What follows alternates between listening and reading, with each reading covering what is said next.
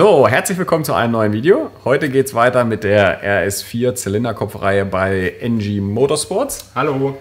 Renke ist auch wieder am Start und hat schon ein bisschen was vorbereitet. Und zwar haben wir im letzten Video ja angekündigt, wir wollen tatsächlich, werden sich einige brutal darauf freuen, ich mich auch, äh, mal alle Köpfe so durchmessen, die es für ein V6 so gibt. Ja. Das heißt, wir fangen an bei dem Smallport S4-Kopf. Die kleinen S4-Motoren haben diese kleinen Kanäle. Dann geht es weiter mit einem RS4-Kopf. Dann geht es weiter mit einem Seriensaugerkopf. Der ist von der Kanalstruktur ein bisschen anders, hat aber die gleiche Fläche ungefähr wie der RS4-Kopf. Und dann ganz zum Schluss messen wir die neuen Limo-Köpfe durch, Ja. so wie sie bei mir aufs Auto kommen. Dann wissen wir mal komplett, wo wir stehen. Genau. So, dann ist das Coole, das hat ja bei Marius jetzt am Golf auch ganz gut geklappt, können wir mal bestimmen, welcher Hub überhaupt Sinn macht. Ob es hier auch eine Grenze nach oben hin gibt, wo mehr Ventilhub gar nicht mehr, mehr performt. Ja. Und können so passend so ein bisschen die. Hin auswählen. Genau. So, ja, äh, Flowbench brauchen wir eigentlich nicht wieder zu erklären. Derjenige, der es noch nicht gesehen hat bei uns auf dem Channel, muss sich einfach alte Videos angucken, weil ich glaube, wir haben es mittlerweile dreimal Dreimal erklärt. erklärt, ja. Äh, faktisch saugt das Ding einfach jetzt hier nur die Luft durch den Einlasskanal und ähm, bestimmt, vorsichtig formuliert, den Widerstand. Ja, das ist ein Differenzdruckverfahren. So, jetzt hat Renke so ein cooles Tool hier gebaut, was unsere Einlassnockenwelle ersetzt, sage ich jetzt mal. Gleichzeitig Messuhren hat, um den imaginären Ventilloop einzustellen. Ja. Wir haben es jetzt einfach so gemacht, wir können jetzt über die drei Uhren bei jedem Ventil den, den Hub einstellen. Äh, und wir hatten uns jetzt, glaube ich, geeinigt, wir stellen dann in Millimeterschritten zu. Und dann können wir das zusammen protokollieren und können dann die Köpfe nachher vergleichen. Und ich sehe den, den Tastenstößel, habt ihr auch schnell selber gebaut hier. Ja, wir haben der Einfachkeit halber äh, einfach einen aus Alu gedreht. Muss hier so seitlich reinfilmen, René, falls du den da hier, dieses Alu-Ding da so siehst. Sehr gut. Ja, so, okay. Hm, folgende Bereiche interessieren uns. Wir wollen uns jetzt nicht im Millimeterbereich durch den ganzen Kopf arbeiten, weil das, ich denke mal, da wird man auch nicht so viel sehen. Uns interessiert der Bereich, wenn das Ventil anfängt aufzumachen. Das heißt, ein, zwei, vielleicht noch drei Millimeter Hub. Ja. Einfach, weil wir glauben, dass man da die größten Unterschiede zwischen den Köpfen sieht, auch wenn es später für den Betrieb vielleicht gar nicht so entscheidend ist. Ähm, und dann ähm, auf jeden Fall 7, 8, 9 mm Hub. Weil können wir mal gucken, was nach oben raus noch an Luft da ist oder wo wie beim VR auch einfach der Umkehrpunkt ist, wo wir einfach Genau. sagen, okay, Feierabend. weil die Motoren fahren serienmäßig, weiß ich nämlich, äh, S4 hat die schwächsten Wellen, ähm, RS4 hat äh, Wellen mit 8,3 mm und die stärksten sind die Wellen vom 2.8er, vom Sauger, die haben 8,7 mm. Okay, dann wissen wir ja schon mal, wo wir ansetzen können. So, das heißt, wenn wir 7, 8, 9 mm messen, sind wir da, glaube ich, ganz gut äh, am Start. So, ich mache mal den Protokoll für Ich wollte sagen, willst du wieder schreiben? Ja, ja. Ja, dann fangen wir jetzt mit dem Smallport an, ne? So, eins, was soll man messen? Eins, zwei, drei. Drei. Ich lasse mal ein bisschen frei, man weiß ja nie. 7, 8, 9 mm. So, hier haben wir gleich theoretisch, machen wir mal hier den S4-Kopf. Okay. Jetzt vielleicht noch einmal aufschreiben, wir sind jetzt bei äh, Serienventilgröße, das heißt 26,9 äh, zu 29,9. Mhm. 26,9 zu 29,9. So,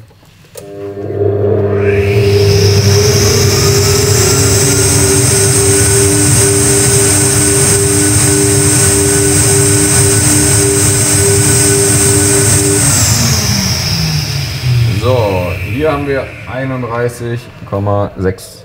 Habe ich da so ungefähr gesehen. Jetzt machen wir aber 2 mm Ja. erst, ne?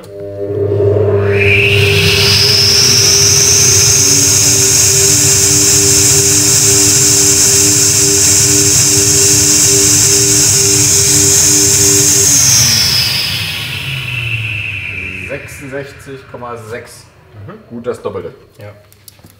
Ja, ich, ich sag heute mit Absicht ganz Wenig. wenig. ganz wenig, dass ich hier keinen ablenke. Es geht ruckzuck. Dann weiß man schon wieder nicht mehr, was man noch gestellt hat und was nicht.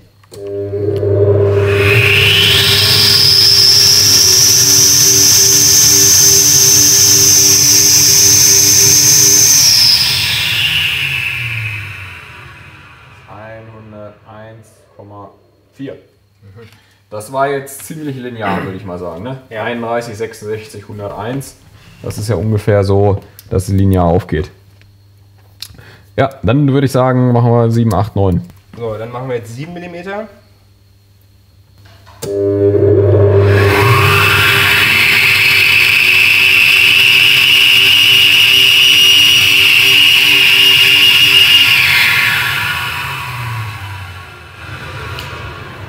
Hundertsechsundsechzig. Ja. So, 8 mm, Blende kann bleiben.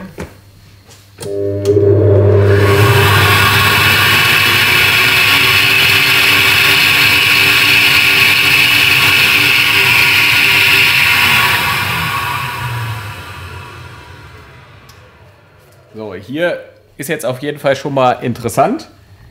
7 mm 166 CFM, 8 mm nur 172 CFM. Das heißt, da sieht man, da geht es nicht mehr linear weiter, sondern wird es jetzt immer weniger. Ja. Das heißt, vermutlich mit 9 wird es jetzt kaum noch mehr werden. Ne? Ja. Irgendwann ist dann halt auch vorbei. So, Blende kann wieder bleiben. Dann machen wir jetzt nochmal die 9 mm.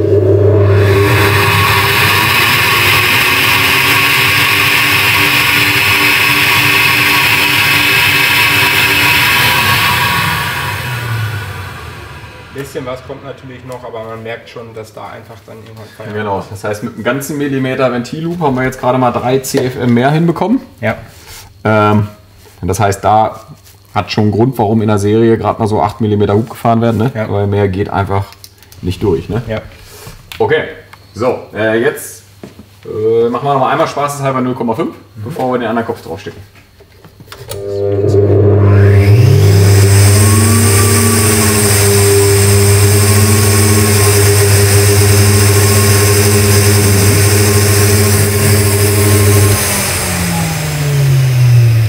sieht ja auf der Uhr halt immer unheimlich viel aus, ne? Aber Oder ist gar nichts, ne? ja. Aber es ist immerhin tatsächlich so, dass das wirklich komplett linear ist, ne? Ja. Wir hatten jetzt gerade bei 0,5 mm Hub hatten wir 16, genau die Hälfte von 1 mm. Also da geht es schon Gucken wir gleich mal, was die anderen Köpfe linear bei dem Kopf auf. Weil wir haben Ja. in dem letzten Video gesagt, dass unter 1 mm kaum was strömt, so ungefähr. Das ist in dem Fall auf jeden Fall schon mal nicht ganz richtig. Ne? Okay, das war unser Sauerkopf. Äh, jetzt müssen wir das Ganze einmal umbauen auf den RS4-Kopf und erst dann fängt es an, richtig spannend zu werden, weil dann sehen wir mal, was da passiert.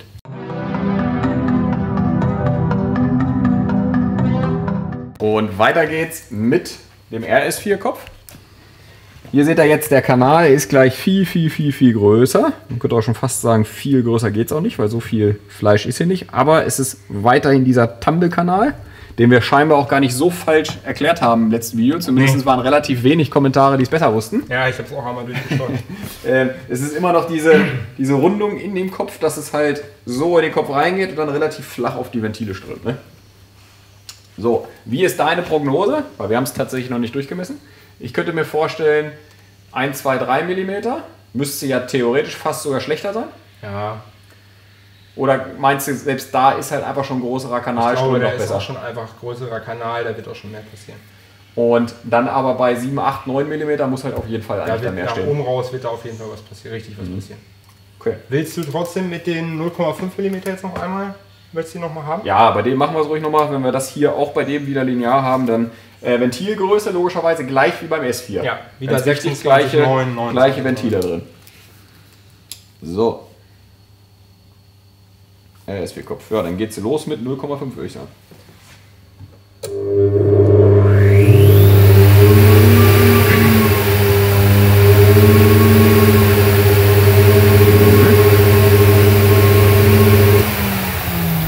So, 11,0. Das ist aber tatsächlich, dass er schlechter strömt. Ja. Wir hatten vorher bei 0,5 mm 16. Jetzt haben wir 11, was ja immerhin schon gute 30% so sind. Ne? Also das ist schon, ist schon ein Unterschied. Das machen wir schon fünf Jahre lang, nee, Minimum, ich würde sagen acht Jahre lang Köpfe oder so. Ne? Ich weiß noch, wie oft ich mit Tim darüber gesprochen habe, dass wir unbedingt diese S4-Köpfe uns auch mal durchmessen wollen. Ne? Ja. Wir haben es irgendwie nie, So, jetzt nie hinbekommen. brauchen wir schon Blende 2. Neben, äh, 1 mm hatten wir Blende 1 sonst. Ne, stimmt. Hast recht.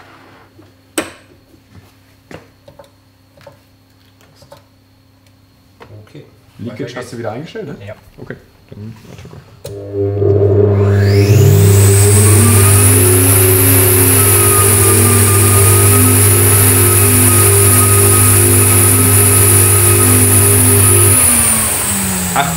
würde ich sagen, ne? So, das heißt, da kommen wir den Ganzen schon näher. Ja. 31 zu 28. Das heißt, jetzt bei 2 mm wird es wahrscheinlich dann ausgeglichen sein. Ne? Kann natürlich sein, dass das aber auch genau der Effekt sein soll. Dass bei dem ganz bisschen Öffnung es schon richtig in den Brennraum reinströmt, um da halt diesen Tumble hinzukriegen. Ne? Ja. Das ist nicht so schlagartig, sondern So, 2 mm. ja.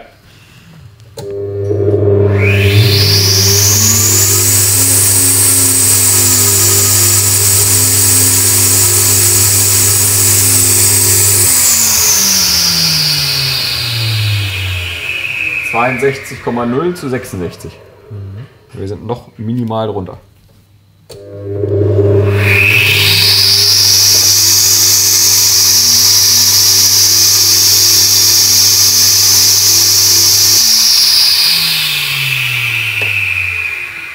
Das waren 100,0 ungefähr. Und da sind wir jetzt tatsächlich, haben wir die 3 mm eingeholt zu 101. Ne? Ja. Das heißt, theoretisch müsste jetzt gleich mit 7 mm so langsam die Post abgehen. Richtig Ne? was passieren.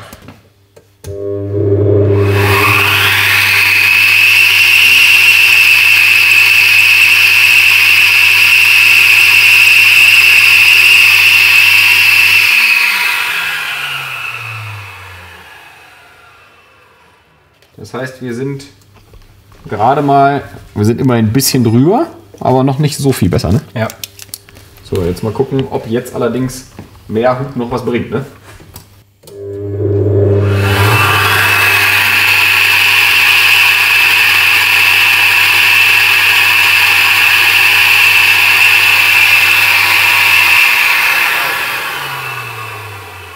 So, ich persönlich hätte gedacht, dass der RSW-Kopf auf jeden Fall schon mehr kann, Ja, mehr strömt. ich auch. Gucken wir mal, 1 mm haben wir ja noch. Ja, aber da wird jetzt ja die Welt nicht mehr, nicht mehr kommen. Man kann relativ sicher sagen, dass wir bei dem richtigen Hub gerade sind. Weil wenn es genau in dem Moment jetzt abflacht, ne, dann wird das auch schon genau der Hub sein. Ja.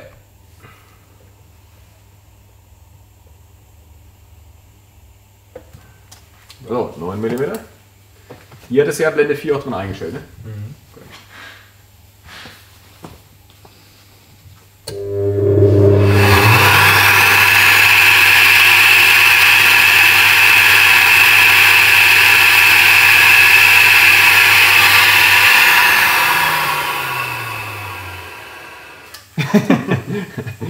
Okay. Ähm, also wir, wir wissen jetzt immerhin schon mal, dass theoretisch, also den einzigen großen Unterschied, den wir eigentlich wirklich gesehen haben, ist beim halben Millimeter Ja. Öffnung. Ab da waren die Köpfe eigentlich ziemlich, Ziemlich gleich, ziemlich identisch. ziemlich identisch. Ne? Ähm, das heißt, entweder ist es wirklich die Kanalform, Ja, einfach die, die Verwirrung, die da entsteht, Ja, der ja. Form, ähm, dass das ma- maßgebend ist dann. Das Coole ist, wir können jetzt als nächstes einen Sauerkopf nehmen, der auch original ist. Da ist nichts an den Sitzen, nichts an der Kontur rein, gar nichts gemacht. Gleiche Ventilgröße drin Ja. ähm, und Kondil nachher mal durchmischen. Ja. Ne? Und wir weiter geht's.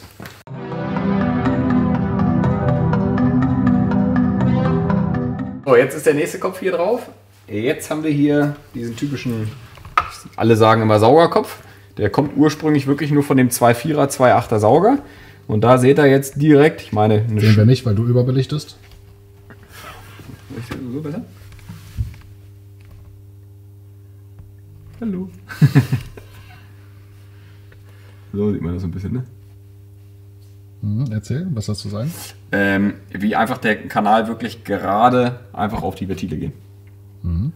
So. Oh, Ist zwar keine Schönheit hier so vom Guss, ne? Ja. Also da geht auf jeden Fall noch was. Ähm, aber gleiche Ventile, gleiche Ventilsitzdurchmesser, Ja. wirklich nur andere Kanalgeometrie. Genau. Okay.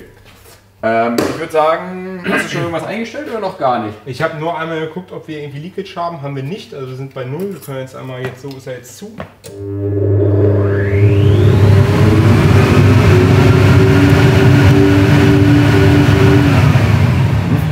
So, das heißt, ich würde sagen, wir fangen bei 1 mm an. Haben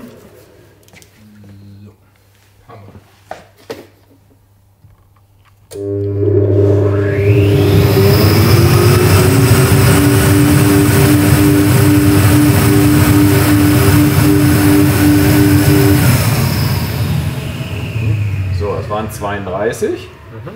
Das heißt, wir sind minimal Besser. besser, also schon mal deutlich besser als RS4 und minimal besser als der, Sauer, äh, als der S4-Kopf. Ne? Sag Ja. Warte, ich muss noch einmal sauber rüberschreiben.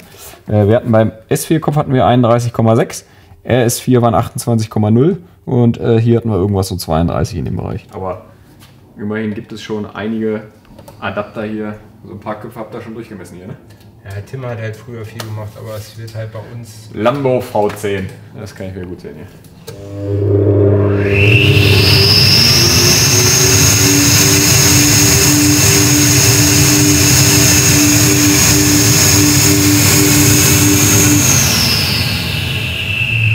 ...66 ist identisch mit S4 Kopf 66. RS4 war leicht drunter. Okay.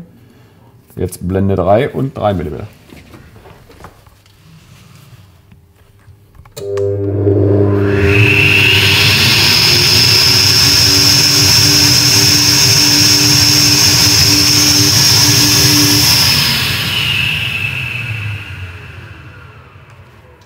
...101, auch identisch wie die beiden anderen. Okay. Putzig. Okay. ähm, dann machen wir jetzt weiter Blende 4 und wieder 7, 8, 9 mm.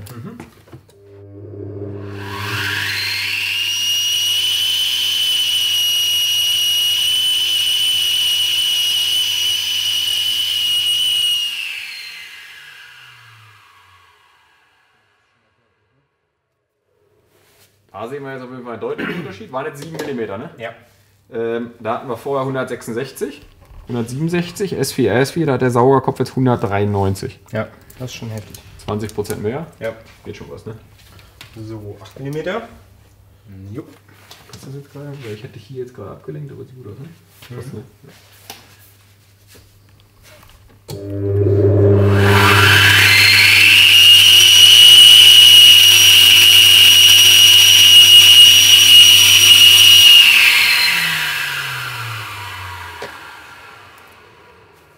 So, das waren jetzt 200. Das heißt, wir konnten uns von 193 auf 200 steigern.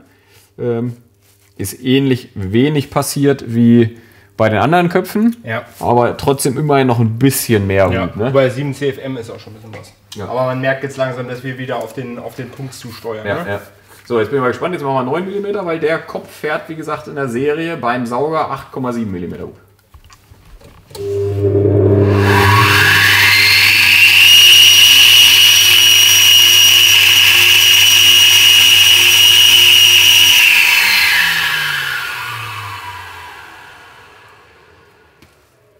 So, und das waren auch schon 207. Ja.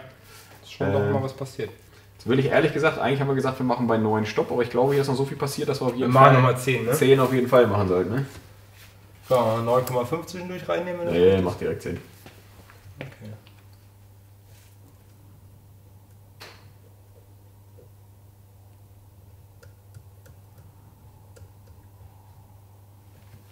Okay.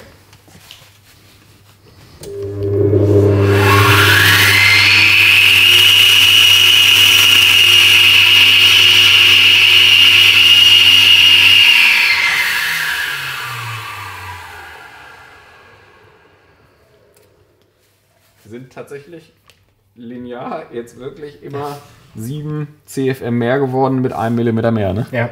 Also, Komm, wir müssen 11 machen. Mehr als 11 brauchen wir eh nicht machen, weil ich weiß, 11 kriegen wir niemals nockenwellentechnisch in den Kopf rein auf der Einlassseite.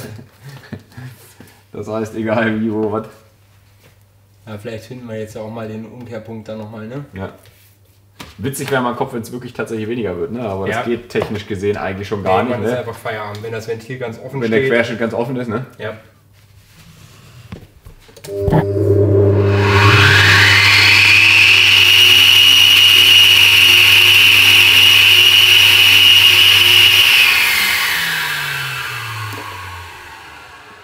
So, das waren jetzt 2,8 2,18, also jetzt kommt der Punkt, wo es langsam Stagniert. weniger wird. Ne? Ja.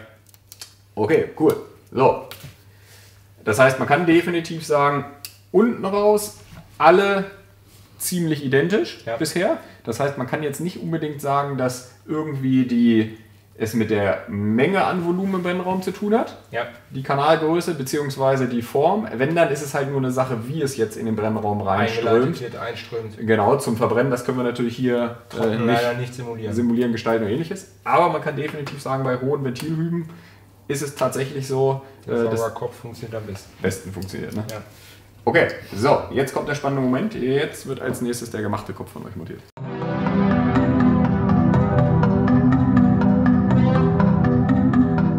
So, jetzt wird's ernst. Renke, sag noch mal einmal kurz, was an dem Kopf jetzt hier alles gemacht wurde.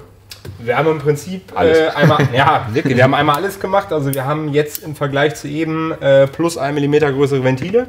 Äh, wir haben unsere CNC-Kanäle, Ein- und Auslass. Wir haben strömungsoptimierte Führungen. Wir haben Sitze mit CNC-Kontur. Und wir haben eine Brennraumbearbeitung. Also wirklich alles, was geht. Volles Programm. Man sieht jetzt auch, dass es wirklich jetzt von den Wandstärken her überall Minimum. Da die Ventilführung sieht man, wie die so verjüngt ist, wie es noch ein bisschen dünner wird da drin. Hoffe ich überbelicht hier wieder nicht. Sieht man das also? Ja, so ein bisschen. Ja. So, die, die eigentliche Golfballoberfläche, auf die ja alle mal so abfahren. Irgendwann werden wir auch nochmal das Golfball-Spezialvideo machen, Ja. so ungefähr. Weil einfach wirklich unter jedem Video immer wieder die Leute Immer fragen. gefragt. Für ähm, uns ist es jetzt erstmal egal. Wir gucken jetzt einfach nur, was dieser Kopf kann. Ja, machen wir. So, das heißt große Ventile plus 1 mm, größere Sitzringe, damit, der Größerer innen, Sitzring Innendurchmesser. genau, damit der innen größer wird und Kanäle Maximum und Brennraum. Ja. Okay. Ja, dann würde ich sagen, fangen wir mal bei 1 mm wieder an. Ne? Hat diese Knete, die da die ganze Zeit drauf ist, einen bestimmten Grund? Was macht die? Die soll dich wir sind triggern. ja auch schon mal darauf eingegangen, einfach nur um die Kante ein bisschen zu verrunden. Haben wir bei allen gemacht, äh, nur dass das hier nicht so hart über die Kante fließt. Ist ja bei einer Ansaugbrücke auch nicht so. Genau, in dem Video, wo wir hier damals den Luftfilterkasten durchgemessen haben, da war es ja so, dass so eine 90-Grad-Kante ist so strömungsmäßig das Schlechteste, was es gibt. Das stimmt, das habe ich sogar gedreht. Ja. Genau. Und äh, damit es nicht am Ende heißt, dass das so krass jetzt da drin verwirbelt und schlechter ist, haben wir versucht, das immerhin so über so einen leichten Einlauftrichter, das wie in der Schule damals. Ich dachte, ich frage das, weil sonst wäre das in den Kommentaren auf jeden Fall gekommen. So, 05. Theoretisch wäre es natürlich das Beste, die Ansaugbrücke auch noch drauf zu schrauben und so weiter. Ja. Ne? Aber ja, bald schleppe ich, bald schlepp ich den ganzen V6 hier rein, so Du ungefähr. hast ne? ja schon noch vier Regale. dass wir dann durch den Turbolader so ungefähr das Ding durchmessen hier. Okay, Blende 1, ähm, kann losgehen.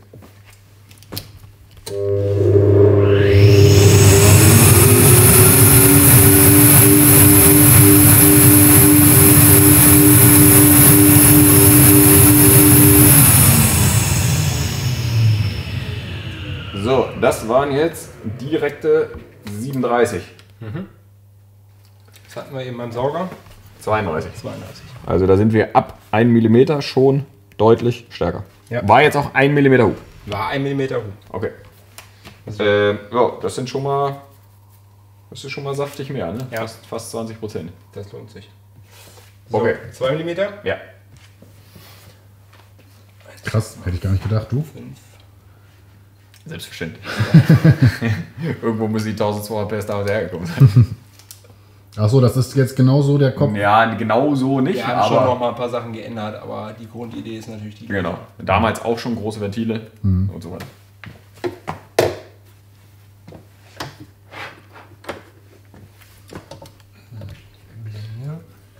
So, 66 hatten wir vorher, Stufe 2. Beziehungsweise 2 mm Ventilloop. Kann losgehen? Ja. So,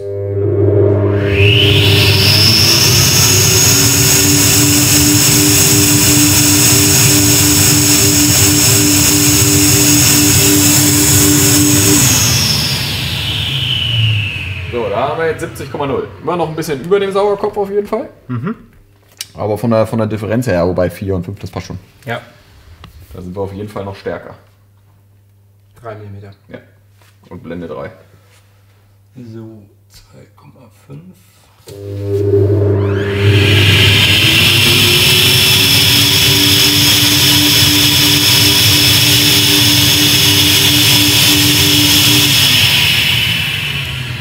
So, da sind wir bei 104. Vorher waren wir bei 101. Also wir sind immer noch ein bisschen rüber. So, wollen wir jetzt weiter durchmessen? Nee, oder? nee, wir gehen direkt auf 7 mm. Okay.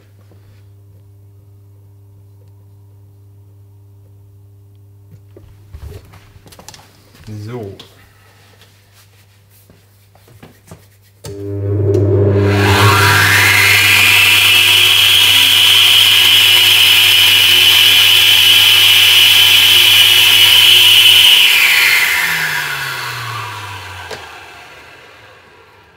Okay, Sag an. jetzt sehen wir den großen Unterschied bei 7 mm. Das heißt, wo so langsam der Kanal endlich mal anfängt, ein bisschen offen zu stehen, Ja. haben wir 216 Zu. zu 193 der Saugerkopf Okay. und 167 der RS4-Kopf. Wahnsinn. Das heißt, da ähm, reden wir schon von, von guten, echten 20 Prozent, ne? Ja. Und, äh, sorry, 10 Prozent. Ähm, und das kann sich, glaube ich, bei sowas schon sehen lassen, ne? Dafür, man muss auch immer dazu sagen, man konnte ja grundlegend die eigentliche Kanalgeometrie gar nicht bei so einem Kopf verändern. Nein. Du kannst es ja nur Verbessern. verbessern, glätten, größer machen und so weiter. Ne? So, jetzt habe ich nochmal 1 mm zugestellt. Da sind wir jetzt bei 8, ne? Nochmal eine Sache, was in dem Fall ganz cool ist. Die Platte ist extra ein bisschen dicker gewählt, damit hier unten drin kreisrund quasi der Zylinder mehr oder weniger auch dargestellt wird. Und wenn man jetzt hier reinguckt, sieht man, dass, okay, so wird man es nicht sehen, Man sieht mit dem Licht sowieso gar nichts. Ähm, ich erkläre es einfach. Die drei Ventile sind natürlich relativ nah an der Zylinderwand. Also die drei Ventile öffnen sich und stehen relativ eng an dem Zylinder, was natürlich für Strömen auch schlecht ist. Ja. Aber das haben wir gleich auch direkt passend damit Wir, wir simuliert. können es ja zum Ende nochmal zeigen, dass wir wirklich auch die Bohrung angenommen haben, dass das halt alles genau passt. Ist ne? genau eine 82,5er Bohrung, so wie ich später in den Motor fahre. Ne? Ja. So, okay, dann 8 bitte.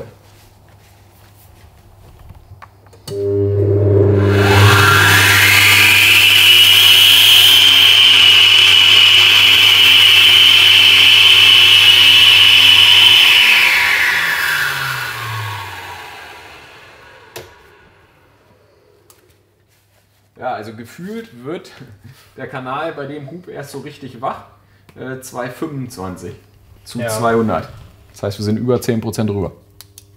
Da müssen wir dann wirklich mal gucken, äh, wie du dann halt die Nockenwelle genau auslegst. Ne? Ja, ich befürchte schon, wir werden hier den halben Kopf wegfräsen. Für Dass Freigängigkeit der, dass, der, dass der Hub da durchgeht, ne? Also umso mehr Hub, umso größer müsste die sein, oder was? Nee. Aber wenn du hier seitlich reinguckst, hier würde jetzt ja der Nocken langlaufen. Dieser Nocken drückt ja den Stößel runter, um das Ventil aufzumachen. Je weiter ich das Ganze reindrücken will, was jetzt die Uhr macht, der Nocken muss natürlich hier auch dran vorbeipassen. Und irgendwann kommt der dann hier, sieht man, das ist hier ja schon freigefräst, ne? Ja. dass der Nocken da so durchlaufen kann. Das muss man dann irgendwann immer weiter freifräsen, dass halt der Nocken einfach genug Platz. Freigängigkeit hat. Ne? So, hier müssen wir noch. So, dann wären wir bei 9, ne? Ja. 207, 207 hatten wir vorher.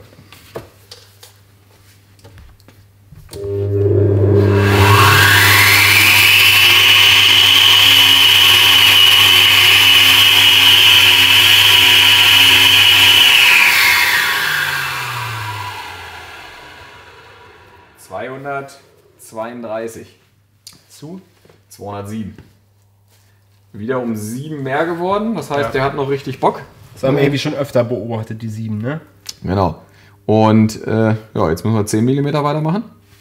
Und dann ging es ja bei dem originalen Sauger. Da war irgendwie der Umkehrpunkt dann, ne?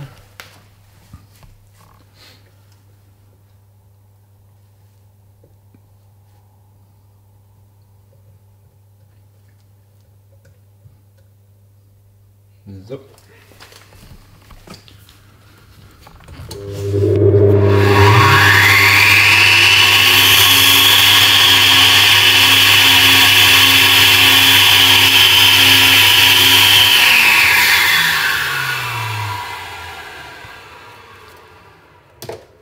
Eins zu 1 genauso, wieder 7 CFM mehr, 239 zu 214. Also man sieht auf jeden Fall schon mal, dass einfach der Kanal Bock auf Ventilhub hat. Ne? Ja. Wollen wir aus Spaß noch mal einen Millimeter mehr machen? Ja, ja, wir drehen jetzt komplett so lange, bis auf Block ist hier. Okay. Bis die Messuhren auseinanderfliegen. So, jetzt sind wir nämlich schon bei 11 mm Hub. Als Erinnerung, mein letzter Motor hatte ungefähr 9, Wobei, nee, stimmt gar nicht. Mit den mechanischen Wellen war es dann ein bisschen mehr, aber so um die 10 mm hoch. Okay. Das heißt, wir sind jetzt auf jeden Fall schon, schon über dem. drüber, ne? Achtung, wie wieder laut.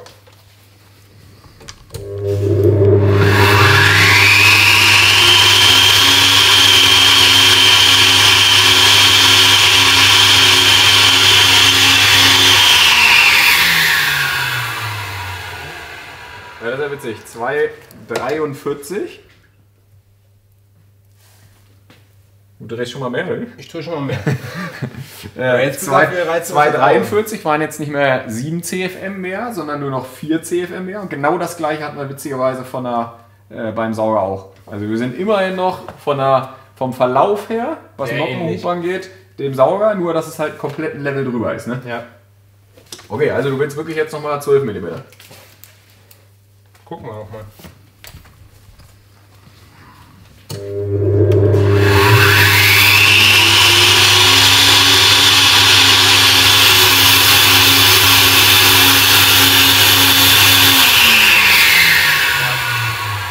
Ja, da war es jetzt so, ich würde mal sagen, das, das waren so 2,45, 46. Ja. Äh, da ist jetzt wirklich das Finale erreicht. Ja. Mehr geht nicht. Mehr wird dann nicht mehr passieren. Also elf Ich bin jetzt Mil- auch am Ende vom Einstellen her. 11 mm Hub wird äh, so langsam das Maximum sein. Ja, okay, krass. So, wir machen jetzt eine letzte Sache. Wir Ja. schrauben mal nur den Kopf ab und drehen ihn mal einmal zur Seite, dass wir uns mal einmal angucken können, wie die Ventile da schon so drin stehen. Ja. So, jetzt zeigen wir einmal zum Abschluss nochmal. Das ist jetzt hier das, was ich meinte. Das ist genau quasi unser ähm, Zylinder, den wir da simulieren, dass das halt seitlich auch genauso strömt. Und hier sehen wir, wie krass das dann wirklich schon offen steht. Ne? Weil an den Stellen denkt man halt wirklich, wenn man sich überlegt, hier läuft der Zylinder lang, ne? Ja. da strömt es dann halt schon brutal gegen. Ne? Ja, aber man sieht das jetzt ja auch so, was äh, will man das Ventil jetzt noch weiter aufstellen. Ne? Ja. Das ist halt einfach am Ende jetzt. Hier sieht man jetzt auch nochmal schön nach unserer Brennraumbeschichtung, wo wir letztes Mal drüber gesprochen haben, muss jetzt final noch einmal wahrscheinlich geplant werden. Ja. Habt ihr mit Absicht noch nicht gemacht wegen Zerkratzen und so weiter? Ja. Okay. Das heißt, letzter Schritt ist jetzt einfach nur nochmal Köpfe planen, zusammenbauen. Fertig. Einmal reinigen, noch planen, zusammenbauen. Umgekehrt, planen, reinigen. Ja. Wir sind durch für heute. Wir fassen nochmal unsere Ergebnisse zusammen. S4, RS4 Köpf können wir außer gleich am Anfang kaum den Unterschied messen. Saugerkopf schon deutlich stärker. Ja, gerade oben raus. Das heißt, was den eigentlichen Flow angeht, macht es wirklich keinen Sinn, einen S4 oder RS4-Kopf angehen, aufzubauen. Das hat alles immer noch mal später einen anderen Einfluss im Betrieb, weil halt dann noch die Verbrennung dazu kommt. Ja. Was aber den Flow angeht, Sauerkopf schon deutlich besser und unserer bzw. euer NG alles was geht Kopf ähm, selbst am Ende noch mal gute, immer noch über 10% stärker, Ja. 218 zu 243 CFM. Das heißt, ich würde sagen, da haben wir alles rausgeholt, Alles was geht. gemacht. Ich kann ein bisschen grübeln, welche Nockenwellen jetzt in diesen Motor reinkommen. ja. Wir wissen ja auch, was sie können. Wir haben sie schon ein paar Mal ausprobiert. Und dann, ja, es gibt ganz viele, die, die fragen dann, was ist wohl Maximum Leistung, was in so einen Kopf reingeht und so weiter halt. Ne? Ja. Aber das ist halt, Ich kann immer am Telefon ruhigen Gewissens sagen, das können die Köpfe oder Ja. das unterstützen die Köp- Köpfe. also sag mal 12, 1300 können sie auf jeden Fall. Ja, Und ja, alles weitere dann später im Betrieb sehen. Ne? ich denke auch. Ich hoffe, das Video hat euch genauso viel Spaß gemacht wie uns. Das war mal wieder höchst wissenschaftlich, informativ, interessant. Ja. Ähm, ich wollte immer mal diesen Versuch machen, weil man kann es sich einfach nicht vorstellen, dass dieser kleine S4-Kopf genauso funktioniert wie ein RS4-Kopf. Ja. Es ist aber scheinbar einfach durch diese Anordnung der Einlassventile ist es einfach so. Ja. Und danke, dass ihr euch mal wieder Zeit genommen habt. Gerne. Und wir sehen uns im nächsten Video. Bis nächstes Mal.